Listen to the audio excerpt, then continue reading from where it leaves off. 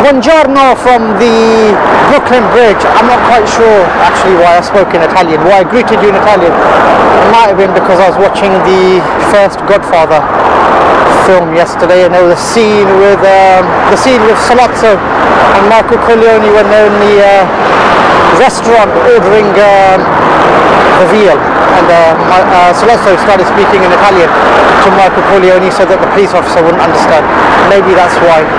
Or it may be because of the five boroughs that I'm in, because of the five families, it could be. You never know. Uh, there are a number of bridges actually here uh, that, that, that connect Manhattan to Brooklyn. I think we've got Brooklyn Bridge here, you've got Manhattan Bridge, you've also got the Williamsburg Bridge. Uh, the Williamsburg Bridge that uh, takes you into Williamsburg, funnily enough. And uh, I've got to say, there's a good uh, YouTuber, Peter Santenello, who I watch uh, regularly. He did a very, very good feature uh, with the uh, Hasidic uh, Jewish community from Williamsburg.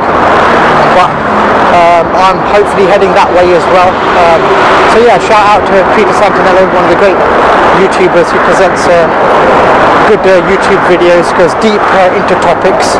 He's done a lot of videos in America itself um, that focus on uh, parts that you don't really see, um, that, that don't really get featured, topics that don't really get covered. Uh, I think he did a, a good feature with the guy from uh, White Underbelly as well. So that was a good uh, a good video as well. So shout out to him. But yeah, Bro- Brooklyn Bridge, as I said, it connects Manhattan to Brooklyn, and the day itself is actually very nice. It's uh, early, but the sun is out and the temperature does look quite good. I should have uh, left this jacket at the hotel.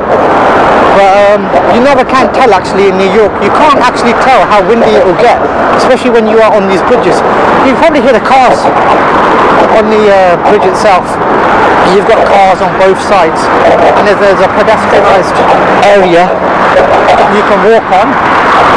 Just looking at the skyline itself, the Manhattan skyline, uh, it does uh, look fantastic on a day like this. The sky is actually clear, so I can actually see the Statue of Liberty from here as well. The camera might not be able to pick it out. It might, it might not. You can never judge these things but you're going to have to trust me on that, that you can see the Statue of Liberty uh, from the Brooklyn Bridge. What I will say is that I've had a lot of discussions with friends and colleagues about this actually, about the cost of um, being in New York. Yes, it is an expensive city. Um, things aren't cheap here. Hotels are expensive. Food and drink is expensive because of high rents. And you know when you're coming back from the pandemic, businesses are making up for their losses as well. So uh, it is an expensive city, uh, but you can actually see things for free. So Statue of Liberty, um, if you didn't want to pay for the ticket cost, you can actually see it from the uh, Brooklyn Bridge, or take the Staten Island ferry, sit on the right hand side, and you could see uh, the Statue of Liberty from there. But on the bridge itself, this is a, I would say it's actually the best uh, looking bridge actually in this area. If you compare it to uh, the bridges such as Manhattan Bridge or Williamsburg Bridge, it reminds me a lot of, not in design or anything, but just in the stature that's given here of uh, Tower Bridge in London. We give that the same sort of stature actually that New Yorkers give the Brooklyn Bridge. Uh, there's actually a uh, wedding shoot going on here as well. So one thing you do find in New York, you do get a lot of places where there's a wedding shoots going on. I don't want to uh, disturb that wedding shoot, and uh, I don't want to feature in one of the photos or ruin one of the photos. You know, say that tourist came in and ruined my wedding, so I don't want to be blamed for it and find myself in trouble. But yeah, so just heading towards, we just, we just, I just actually crossed the river now, and uh, into the, uh, heading into the Dumbo area, which actually stands for, the Dumbo part stands for down up under the Manhattan Bridge overpass. So the Manhattan Bridge is over there, and all that area over there is Dumbo. So it's nothing to do with the elephant, the the film or the cartoon or whatever you want to call it. It's actually an area here. I actually told one of my friends I'm going to I might be going to Dumbo and he thought was making it up. He actually had to Google it to make sure that it's actually an area. It did sound like a joke actually to him.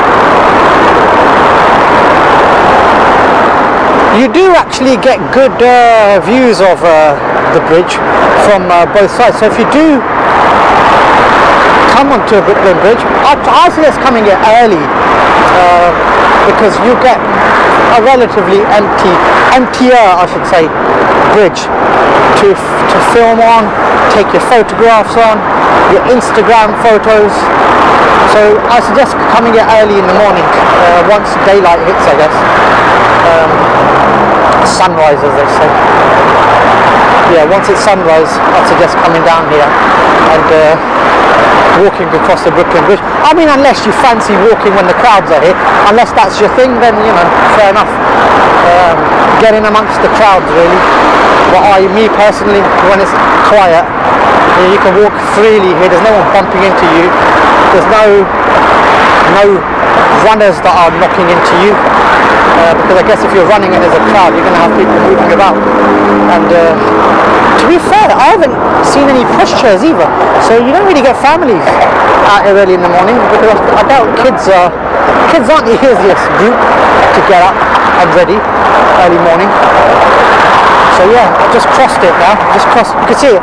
Actually, the wooden platforms, the wooden uh, boards, they end, and then you end up with basically concrete until you get to uh, the staircase that takes you out of um, out of this area and into Dumbo itself.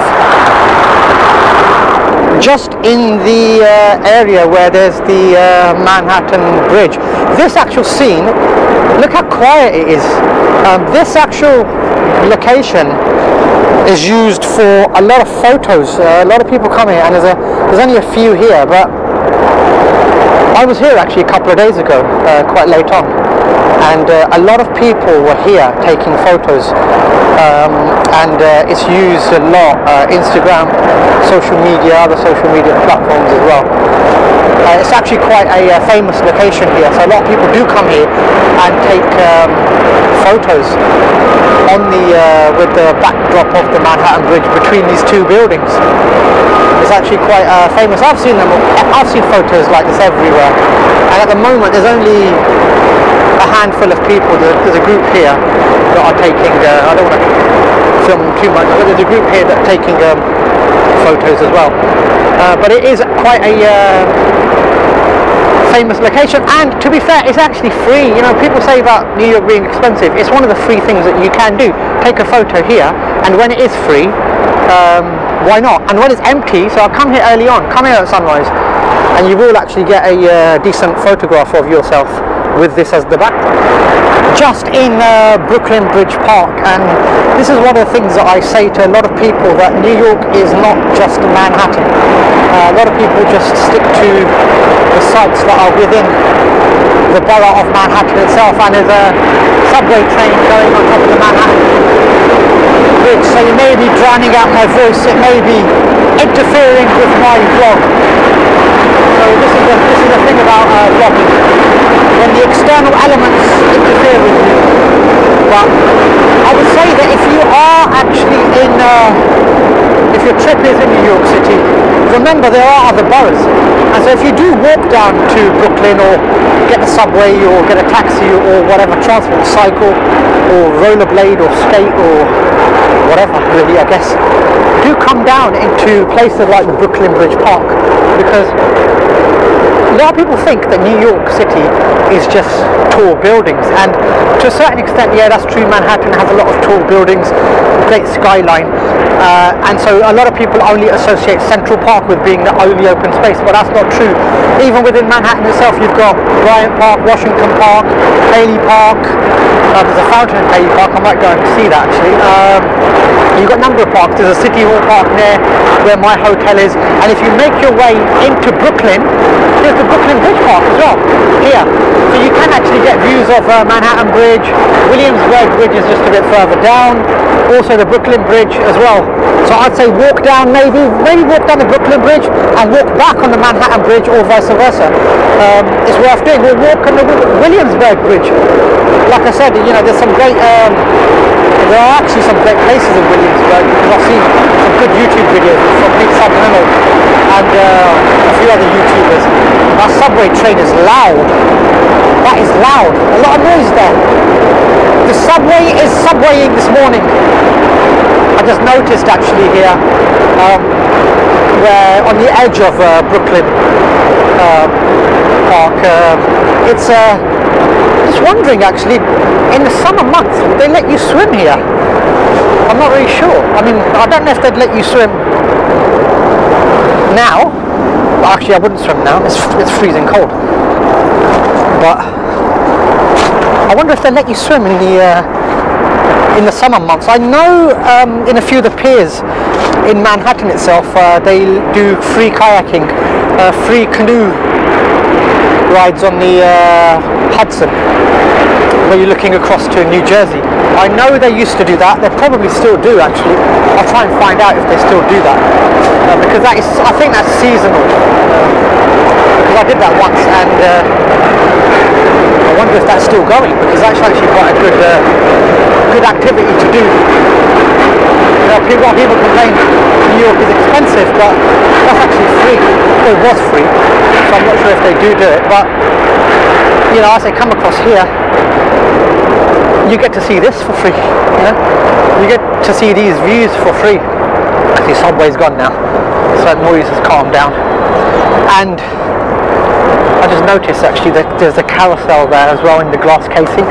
Um, I uh, caught a glimpse of that when I was here last, and uh, I thought I must go and visit the carousel. So here's that carousel, Jane's Carousel 100th anniversary, circa 1922. So this fairground carousel is from 1922. It's been brought in here, preserved. Not really sure they have much take for carousels anymore in these fairgrounds. It's, I don't think fairgrounds are the same anymore. But if you are here, it's ticket holders as well, so you've got to buy tickets for this. So it's not, you can see it free from outside, but if you want, actually even if you go inside, there's glass glass uh, barrier around it anyway, so it's not as if you can get on board and have a ride or anything. So yeah, just a bit puzzled by that really. But if you are here, I mean I guess it's up to you if you want to see Jane's Carousel in its 100th anniversary. If you are into your fairground rides, or if you're so devoid of things to do and boredom has hit you, I guess um, give Jane a visit, I guess. Um, but I'll pass on that. And I'm just making the most of the morning that I have here because a lot of people are missing out actually. A lot of people miss out when they just stick to Manhattan. That's actually a common thing that I've heard um, from a lot of people who've been to New York City. Uh, the journey largely re- revolves around the borough of Manhattan, which actually limits you. Um, I can think of a number of places uh, that are worth visiting. Uh, even um, yeah, a lot of people say don't go to the Bronx; it's dangerous. It is a, there's a lot of crime there, a lot of violence there. But I, I think one of the best markets actually is in um, the Bronx, Arthur Avenue. I think it's on the Italian market. Uh, and actually, that Little Italy in the Bronx, I would give more prominence to than the Little Italy that's in Manhattan. So yeah, another thing that people miss out on. Little Italy in uh, Manhattan now I would say is more touristy. I passed through there yesterday and it's not the same as it was many years ago when I first visited it because back then this is when Umberto's Clam House was in its original location where crazy Joey Gallo got shot. Um, the gangster who was a part of the Colombo crime family, he was shot outside uh, Umberto's Clam House. That actually was there at the time at the original location where he did get shot, but that's moved as well now. And um, you know, a lot of the families who've owned restaurants and premises in that area have moved on elsewhere. And a Little Italy, I would say, it's a bit more touristy now. And you know, I guess it's um, it's up to you if you want to see it uh, because it is worth seeing, it's worth walking through because it's actually been featured in a number of films. I think it was featured actually in all three of the Godfathers as well. Um, I think. It's featured in the third one as well. I think it was featured when, um, what's his name? What's the guy's name? The guy who plays uh, Vincent, uh, Andy Garcia. Where Andy Garcia shoots, uh, has uh, Joey Zaza killed. I think that was in uh, Little Italy. I think in the uh, second Godfather where Fanucci got killed, Don Fanucci, that was in Little Italy as well. So it's been featured in a number of films as well, especially the Godfathers. And uh, it's worth visiting, worth seeing uh, from a touristic point of view. But if you want to see the real Italy, then go to Arthur Avenue in the Bronx because uh, you'll get the real flavour of uh, Italy there as well.